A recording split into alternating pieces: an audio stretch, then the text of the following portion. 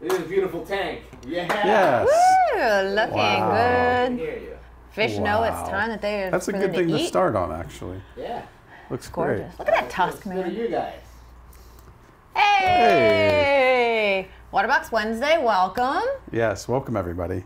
you we are live on Facebook and YouTube. Yep, so share the stream. the beautiful tank real quick. Share the stream, like, comment. Um, we'll be reading comments throughout the show. And today we're going to talk about feeding your fish, Mm-hmm. different types of food. Um, you know what the nutritional needs of different types of fish are. You know different types of forms of food, techniques, all that good stuff. Yeah, you know what's funny about feeding your fish is not a lot of. Uh, uh, there's not a lot of discussion about that. Not really. It's something that we get a lot of questions. It's a questions very about. basic topic, but a lot of people may not fully understand.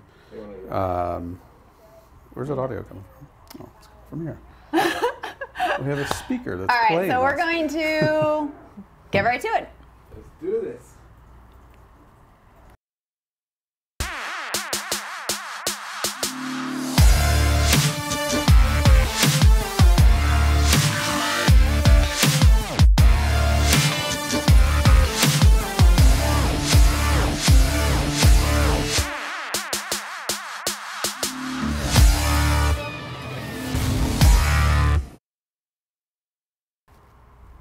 Right. And we're back. Where are we, Jess? We I promise I've- we're gonna get this together eventually. Um, I think that like month off of doing these lives is just really Yes, Work. it was like a, yeah. Just we hadn't taken a break from it in like a year, and then, and then we took about a month weeks. off, so it's a little bit of an adjustment. It's all good. all good. We are here to drop some knowledge about some fish food and feeding your fish. So, um, like you're saying, it's a very kind of basic topic, but a lot of people don't know a lot of the information. They have a lot of questions about, well, what should I feed? How much should I feed Right. them? Um, and I'm sure opinions will vary quite a bit, but we're going to go based upon what we do here, what I've done in my many years of keeping fish and running stores and stuff, um, and show you actually what we what products we use here at the uh, Waterbox headquarters. Love it, love it. So we will be doing questions. We, if you have any questions when you're doing it, um, definitely ask away. One of the number one things is uh, the types of food that are out there. So your main things you have are going to be like your frozen food. You've got pellets, and then you've got flake food. So we're actually showing some of the ones that we use. So for like frozen food, um, got Ooh, just throwing stuff around. Uh, so this is nope that way. Ooh, that way. Mysis shrimp. That's a real mysis popular. shrimp. Um, yeah, it's a real. It's one of your backbones to your frozen meaty products for anthias, things like that. Um, frozen food is also going to be the most nutritious uh, type of food that you can do with your fish. Right. It's the closest to their natural diet. Um, it's come a long way. So anytime you can, frozen food is going to be more nutritious. Um, a lot of nice varieties. There's tons of different types of food out there, um, and for frozen varieties. And then you also have pellets.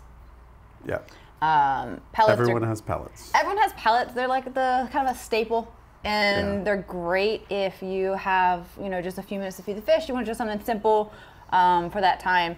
But if you can do frozen food, it's going to be a better option. Then followed by pellets as probably a next best um, choice.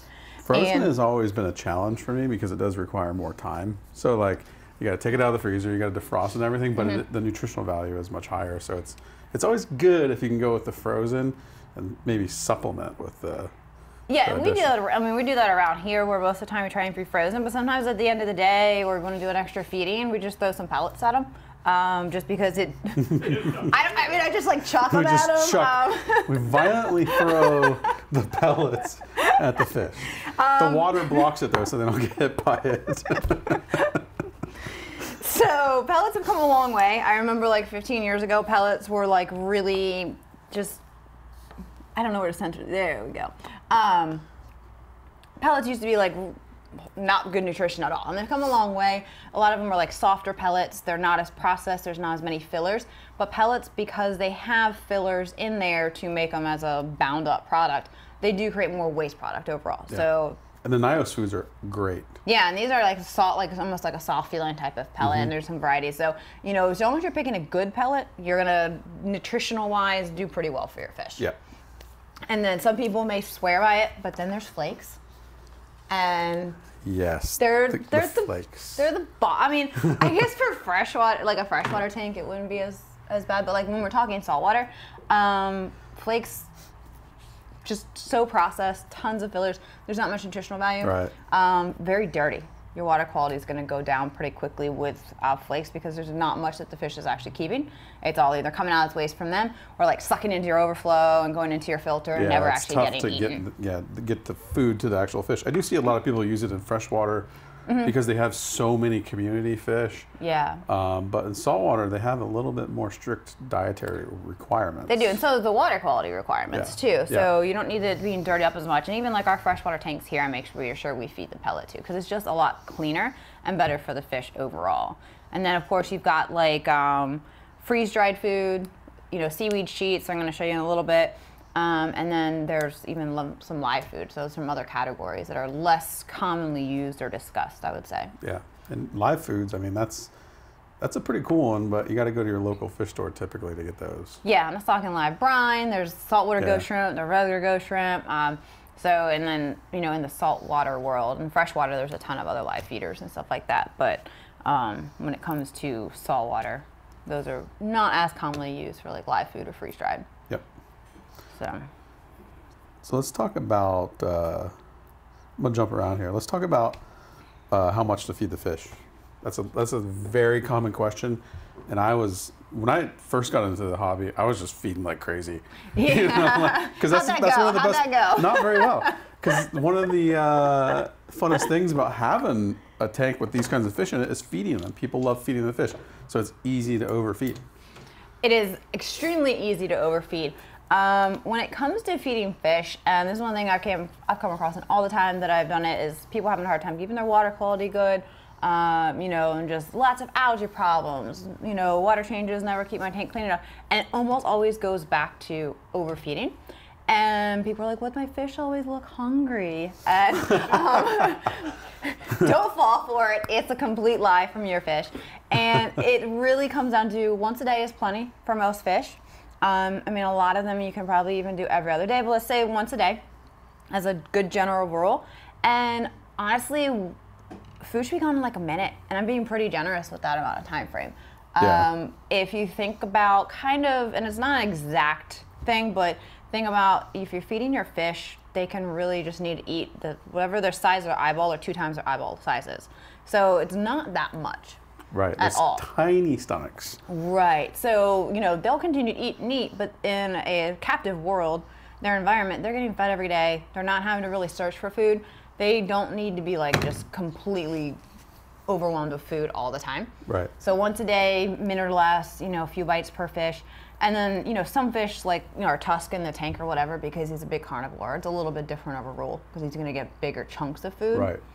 Um, but you know, if you're feeding and two, three minutes go by and there's still food floating around the tank, there's food making it to the bottom of your tank, you're probably overfeeding and you're probably your water quality is not uh, not happy about it too much. But that's really for that. Um, and then they um, like for tangs and stuff like that, they get sea veggies like seaweed clip, and Show them this beautiful seaweed clip that we have. I cleaned it. I cleaned Oh, it. Yes, no. I did. I read. I Uh, read. it doesn't I, that much better. It, well, I don't know. It's quite a bit better. Okay, so um, the other one that we talked about was um, seaweed sheets. So this is like your nori seaweed. It's pressed into sheets. Um, we even have a link on the ones that we use, and this is a big sheet, so it's gonna last you a while. These packs of them. Jess, we actually have this in the kitchen for us to eat as well. I don't eat it. It's gross. it's disgusting. It's salted with sesame oil, so it's you know delicious. Yeah, yeah. This is the non-processed, non-salty, sodium-laden version for your fish. Um, you could take some and make sushi if you really wanted to, but this, like, with this one here, even with our big, we have four, four or five tanks in that the front tank, and still something about like this size was what not even half of a sheet, and we take it and we fold it up. Now every morning these guys get the sea veggie clip. And this is the one that you guys were talking about. This looked way worse about 15 minutes ago. because ago. this thing sits in the tank for a lot. A lot Yeah, so so this one actually came out um, of our tank mm, just earlier today, and I cleaned it up. So this is actually um, a magnet one. So that's really nice because you don't have to stick your hand in the water up at the top of the glass, snaps together around the glass, and you can kind of drag it around wherever you want. This is the mega one because we do Mm-hmm. have big old fish, and that glass only Pro 220 That three is quarter inch Starfire glass. is yeah. very, very, very thick. Yeah. Um, so you need a strong magnet. They make a regular one, and there's also like suction clip ones, um, I want to a note bit too, basic. real quick, guys, that all these little gadgets that Jess is walking you through, we did post links to, in the uh, the description, so you can go find those easily. Yeah, so we're just showing what we actually use here. There's a ton of products that you know are similar to do the same thing. But These are the ones we use here. So for this, sea veggie just goes into the clip, and then um, one trick that I found out when you have big old tangs or a tusk loves to come and rip this off of the clip is I actually shred it a little bit because it's still at the bottom. Ah, so you got all the little tricks. And yeah, so you do this, and the fish has to rip off pieces instead of ripping, you know, the, The whole sheet and running around the whole freaking fish tank Yeah. with a big chunk of algae in his mouth. Which Um, Mango does quite often too. She's a Mango very does too. violent eater. She is. Yeah. She is. Um, and tangs get really aggressive with their seaweed. So we do this every morning. And if you have tangs or anything, you want to put something like this in every single morning for them to graze on, and then feed regular food at nighttime. So Love it. that is for that. And then got types of fish. So depending on your type of fish, Yeah. what you want to feed them. Um, and you've got three main categories, just kind of with any animals. You've got herbivores, carnivores, and omnivores. Um, the herbivores, tangs, foxface, rabbitfish, they're really just strict herbivores. Yeah. Um, they so will be eating lots of that. lots, of of, seaweed. And then we even do like here. This is a frozen um, cube, and this is algae based. So Emerald Entree. There's Formula Two. There's quite a few of them out there, and it's just vegetable cubes um, that we do at nighttime with their feeding too. What's If- interesting is a lot of people wouldn't, especially getting into the hobby, realize that you're going to need, you know, the herbivore, the omnivore stuff, the al- all these different foods based Mm-hmm. Yeah. on the type of fish that are in your tank because it's a community tank. Not all, all of them eat the same thing, and if they don't get the right diet, they're not going to be very happy. Right, like your your tangs, you could go and feed them meat every single day if you didn't really know that they needed a lot of you know vegetable matter, um, and they would eat it. They'd eat meat every day, all day, and then eventually it would cause health problems for them. They would die prematurely, stunted growth, stuff like that. So it's like it's not like they're not going to take whatever you feed them, Mm-hmm. Right. but you just need to focus the fact that they have to get the algae. Um, And the vegetables, Mm-hmm. Especially the tangs because they're grazers. Typically on a reef, they're going to be eating all day long, grazing on the rocks. Yeah, So, yeah. so make sure they get plenty of veggies, and um, then you've got like your carnivores, which a lot of times you don't see like big carnivores in a reef, but we've got our tusk, and then also other ones that you're gonna probably see in a reef tank are your wrasses. Um, you've got um, all the fairy wrasses, flasher wrasses. Those kind are going to be pretty much meat eaters, so they need the food like the mysis shrimp. Mm-hmm. And then we've got like our bigger fish, that tusk, e- eels, groupers, things like that that we had in Eel Island, and they need like krill, silver sides, that bigger meatier yeah. stuff. If you haven't seen Eel Island, we have a playlist there on YouTube. You can go check it out. There's some awesome fish in that thing. Yes. that was a fun build. So, Yes, it was. and then you got carnivores; they eat a little bit of everything. I mean, omnivores. They're happy with whatever you give them. So you can see our big, beautiful tusk in there, flying across the front. He came from Eel Island. Yep. Um, did you talk about target feeding? So, th- No. well, we're going to talk about that in a little bit, but we do have a tool that's pretty cool for that. And there's there's a number of different ways to do it. You could use the Kent Marine Sea Squirt, or you could use like a turkey baster. Mm-hmm. Yeah. So I don't know if Um, you're showing that while we're out there. I have there. them. I have a whole bunch of little things under here. Ooh. I know. We're getting all fancy with our camp work. so this is the um, Kent Marine Sea Squirt, and the cool thing about this one is good shot. Um, uh, there we go. Okay, so it is like a fancy turkey baster, so you can take up like liquid coral food and stuff in it um, just by using this, and it actually has little measurements on here, so you can use it to feed coral.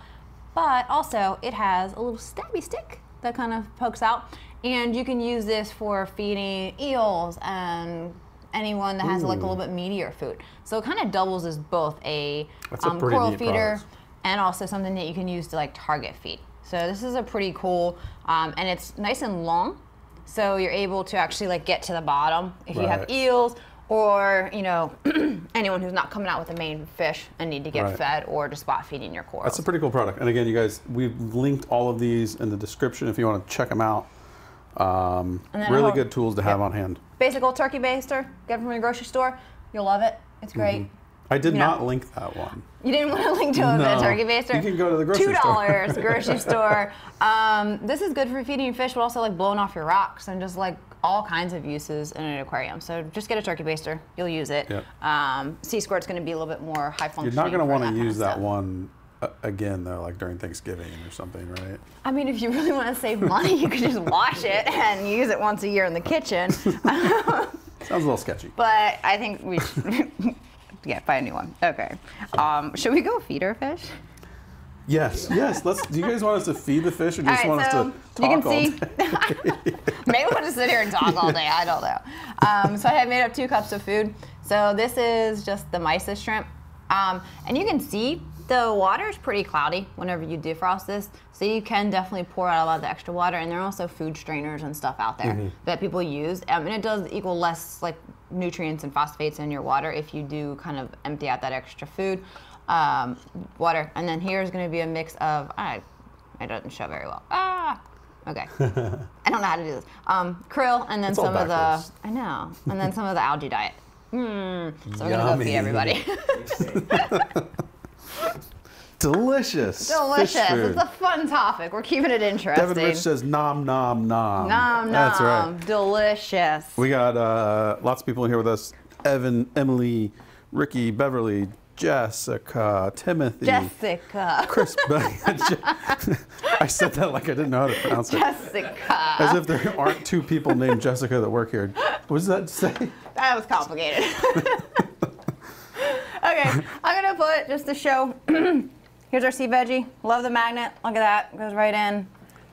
And it's somewhat, even with the aggressiveness of the tusk and the uh, blonde naso, see how the shreds kind of rip off and they're not running around with the whole piece? So it does actually help quite a bit. Um, and then if you have like tangs and stuff in here, always feed the algae part of the diet first. And it's kind of just mixed in with the krill, just a one stop. And you'll see our tang will happily go and eat some krill. Yep. Um, but if her diet was based upon that, she would not be a very healthy and she would not be as old as she is. So it is very, very important. Get your tangs, rabbitfish, angels, that kind of stuff. Get a good amount of algae in their diet. Which the tusk is too busy chewing on algae to carry about his krill. So just these, this one breaks up. There's some uh, other cubes for the algae that actually you can uh, they stay in bigger chunks, but really any of it work. If you guys have any questions, post them in the comments below. We'll try to get to them. Um, share the stream. We're live on both Facebook and YouTube every Wednesday at 6 p.m. Eastern. All right, so we're gonna let them kind of clean that up. I'm draining the mysis out a little bit of the excess water, just to keep it a little bit cleaner. I'll make sure everyone gets their algae. And then for like your anthias, wrasses, you know, a meaty diet like mysis is really important. And in kind of conjunction with that once a day feeding thing, some anthias and new fish actually might need twice a day for a little bit when they're acclimating. But for the most part, once a day is a pretty good average. If you guys haven't seen our uh, 220 gallon dream build, we do have that posted on YouTube, so you can check it out. That's this tank right here has been set up a little over a year. It's got to be a year and a couple of months now at least. Yeah, You're I think close so. to. Um, so we a lot of uh, corals in here, and this is our so th- again this is our 220.6 plus edition. Um, it's our largest production tank that's about six feet long by two, 26 inches deep, 24 inches tall. It's a beauty. Yes. So you can see everyone's happy and chasing around the food. Um, and that's really it. Yep. And that's it, Jess. Just like that. That's That's- you're done feeding. Walk A lot of people would sit here for another 25 minutes dumping food into the tank. But you this know, one looked and then, hungry. This one and then they're like, why do I have diatom algae? Why do I have green algae all over my tank? I can't figure it out. And it's like, well, it's because you just dumped four gallons of frozen fish food into your tank. Yeah, I always used to tell people, I was like, food in equals poop out, and you know, you're gonna Man down. All right, Rich almost went to the ground. it's tricky the- back here. Good thing that camera wasn't on. Alrighty. Everyone looks happy. So, no one knows I have a step stool back here. Yes, no one knows that Jess is being propped up because I'm a little too tall for the camera. It's all good. I'm too short. Um, yeah, so I always tell people more food you're putting in there, the more waste that's coming out of your fish. Waste equals nitrates, algae, that kind of stuff. So really keep that in mind. It's fun to feed your fish. You can probably sit there for two hours and entertain yourself by feeding your fish, but it's Mm-hmm. not going to do you any good. All those fish are perfectly happy and healthy. They get fed every single day. They're doing better than if they were in the wild. Look at the size of that elegant squirrel. I know. And they're, they're even actually kind of closing down for the night because it's around the time that the light starts to go Yeah. out. Um, You know, a lot of people don't t- know too, and I just want to bring it up because we've had it so long. I've had that Naso tank since 2007. yeah, These fish live a long time in captivity. they do. And they're meant to. Um, You know, so fish are not fish are not supposed to only last a year or two. I mean, their Right. lifespan's really long. Tangs easily in their 20s. You know, there's clownfish that are 30, 40 years out there. Um, There's you a clownfish here local that is how old? um, that one is it's in its 40s. Wow, see, a 40 year old clownfish. Yeah. So think about that. I mean, and I mean, I know It's a tangs. zombie clownfish. I know tangs that are like 22 years old. So I mean, it's insane to think about that. They're they're meant to live that long. Yeah. Um, you know, and it's our job, nutritional wise, with food and good water quality, to do so. But yes. So if you want to learn how to properly feed your fish, you watch Waterbox Live and I want help you walk through it. all good. All good. Are we And- missing anything, Jess? Yeah, we are. Keep it. No. we're just all right. We're just gonna keep. We're gonna tank. We're gonna talk. Um, Me and Jess are just going to mute our mics. All right, so um, a lot of times people will hear, you know, target feeding, broadcast feeding, you know, spot feeding. Um, you hear those words a lot with coral, but it also pertains to fish. So most of your fish, just what we did there was just broadcast feed. It's putting the food in there. Fish are getting what they can. They're fending for themselves. Everyone's getting pretty much their fair share. Now, on occasion, you may have to do some target feeding. So when we had Eel Island, we had to target feed the eels. We had to put the food right to them and specifically feed each of those. Um, we also had like a grouper and a trigger that were kind of shy, so we'd have to bring food to Yeah. them. Everyone else just broadcast fed. Now, in like a reef tank, you may end up having to do um, target feeding for new fish right. or some like really shy fish um, because a lot of times some fish just can't get into the hustle and bustle Right. that's happening at feeding time. get in there They're get the food, scared. All the, you know, 20 fish around them are going crazy for feeding time. Um, so if you do have a shy or new fish that just doesn't really come out, you may want to use something like a sea squirt or a tricky baster and blow some food in their direction, other you know, somewhere else in the tank until they get used to it. And then um, one thing we saw this the other day, and I didn't see him when we were feeding, but our mandarin that's in there, and this is um, one of the really beautiful blue red mandarins, was eating pellet food. Wow. So it was one of those that evenings. It's toward the end of the day. I'm like, oh, I'm just gonna give throw some pellets in here because I did not have frozen food ready. And I sat and watched for a second, and the mandarin came over to the pellets that made it on the ground and was just chomping That's down. That's so awesome because naturally that that's a relatively difficult fish to keep. You need a pretty mature system Mm-hmm. to keep them. Um, you know, they prefer live things like copepods running around the tank. So to Yes. have them eating pellets, that's awesome. Yeah, so they're one of those fish that are very hard to maintain because of the dietary needs. And for him to be eating pellets, it helps us know that he's going to long term be sustainable um, and you know exist in this aquarium, and that we can kind of spot feed and bump his nutrition up with those. Lucas pellets. is asking. Not, he's not asking us to shave our heads this time. well, at least he let that one go. He is asking, uh, do you suggest breaking those feedings into multiple feedings during the day, like instead of one bigger one, maybe multiple times? Um, not really, because if you go and say I'm going to do two or three small feedings per day, I guarantee you're going to end up feeding more than we just did in a quick 30 second to one minute feeding. Um, and I think if you do really small feedings, your dominant fish are going to always get to eat, and not necessarily some of your maybe less uh, less dominating fish. So you know, put in just enough food for a couple fish to eat, and the rest don't get it. So I think you, unless it is you have um, like anthias or um, really sensitive fairy wrasses, where their metabolism's so high that they do need multiple feedings per day. That'd be probably Okay. the only reason. You were dropping knowledge, Jess. I got a lot of fish stuff in this head, like it's just there. Far more than me. Uh, someone asked about the harlequin tusk in a reef tank. Question mark. You know, they're wondering, is, is that common? That harlequin actually came from Eel Island.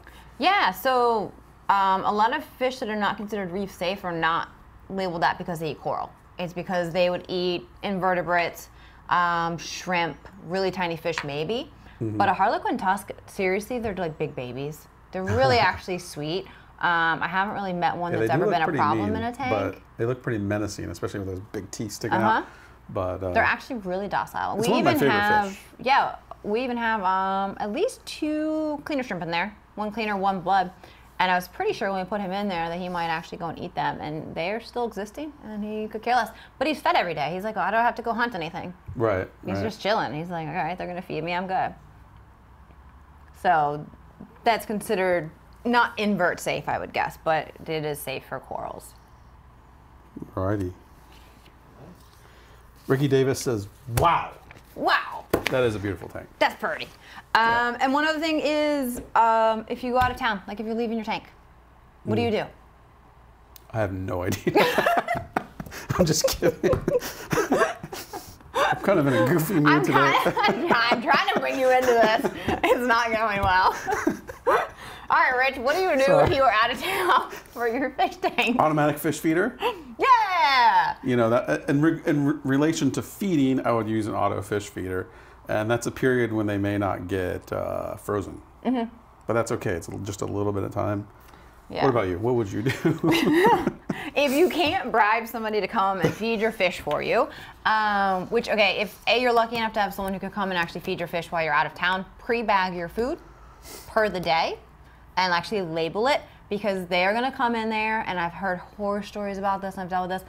Is they're like, but your fish kept looking hungry, and they went through two weeks worth of food in three days because the fish kept looking hungry. You come home to a tank that's crashing. oh my God. So I always said pre-bag your food, put it in the freezer, label the date, say don't touch anything beyond this. It keeps your tank safe. That's a now, great if you idea. can't have somebody come over, um, an automatic feeder. it's really your only other way. Even those and- scare me, but yeah, they work pretty well. They do. So they are not like an instant. I'm putting it on, leaving the next day. Mm-hmm. Everything's going to be great. So if you don't usually feed pellets, train your fish to f- eat pellets beforehand. Otherwise, Right. they're going to look at this foreign food that you're dumping in here while you're gone, and it's just going to all go to waste in your tank. So make sure that a they'll eat the pellets, um, and then set up that feeder so you can test run it for a couple days before you actually leave and let it run. Because the way they like turn and spin, like it can dump a whole bunch of food in at one time. You could have a huge amount of pellets just dumped into your tank while you're gone, and they're just like rotting and Yeah, that's- everywhere. So test run it. Make sure your fish will eat the pellets, but the auto feeders do work well for that. Um, the Eheim one that we put in the link, I've used that one. It's probably one of the more reliable Yeah, ones. I've used that one too. Um, it's digital. It's really a good, reliable one that doesn't seem to kind of just like yeah. turn a couple And extra Eheim's a good times company and too, stuff like so that. you know they make pretty reliable stuff. That that auto feeder has been around for probably two decades. Yeah, it was always the preferred one that I use, so I, I trust that one pretty well. But um, And what do you, what would you say, Jess, if you can't, you don't have an auto feeder, you're leaving town, you don't have anybody to feed the fish? How long could you safely say, well, the fish just aren't going to get fed?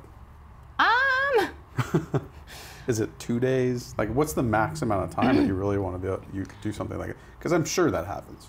Yeah. I mean, honestly, like, and some people may not like necessarily my answer, but um, feed them really, really well before you go. Mm-hmm. And I mean, honestly, you could probably be gone for a week. Yeah. I mean, Yeah. um, it's not good. Um, but, you know, and some fish like anthias, anthias are just super high metabolism. Some wrasses are too. They're not going to fare well to that. If you've got really hardy fish, feed them really, really good before you go, I'm sure you probably get away with like a week. Um, but honestly, just go buy an auto feeder. Amazon, you know, Amazon can deliver it next day. so- Yeah, that's true. You got Um, Amazon, just hop on there, you're going to have it the next day. Yeah, but I mean, fish can go a lot longer than people think without food. And, um, you know, I don't, I don't advise a week, but I'm saying if I had to truly say Worst how long you can stretch scenario, it, realistically, you feed them a I'd little bit three to five days is the max that you would Yeah. want to do it, and that's still not desirable. But Lucas B said that he never suggested we shave our head. Must be mistaken Another somebody Luke. else. There's an imposter Lucas who really wants us to shave our heads. So, um, Devin says that you bribe Jess to tank sit is what yeah, you do. she thinks it's here. So yeah. So like our tanks go every week, every weekend, Saturday and Sunday, and a lot of times if Mm-hmm. it's a holiday, it'll go three days and they don't get fed. Jess has a very high fine. hourly rate though. So Fly me out, and I, I still have to do my job here, so I don't Yeah. know. Depends.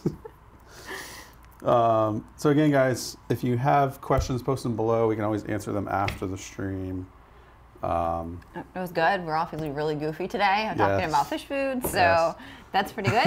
um, and for now, and we'll see everyone again next Wednesday. yep. Like, subscribe.